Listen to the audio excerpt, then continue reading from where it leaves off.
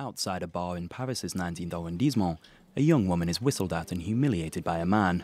Then, shockingly, the aggressor punches her in the face. I was returning home from work and walking in the street. I passed a man who made dirty noises, comments, and whistled at me. I was pissed off. In my head, I felt all the hate from all those times when someone had spoken to me like that in the street. I said, Shut up.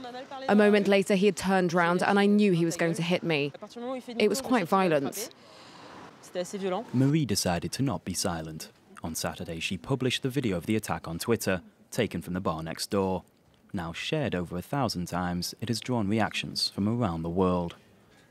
2018, highlighting the everyday of many women.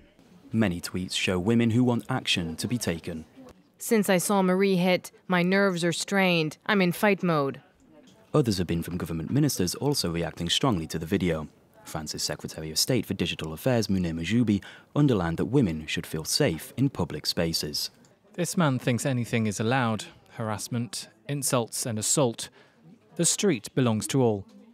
French Gender Equality Minister Marlene Schiappa insists that the video could change attitudes around street harassment.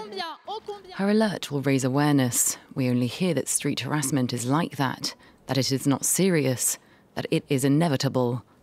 It remains to be seen if the video will have a concrete effect on stopping harassment.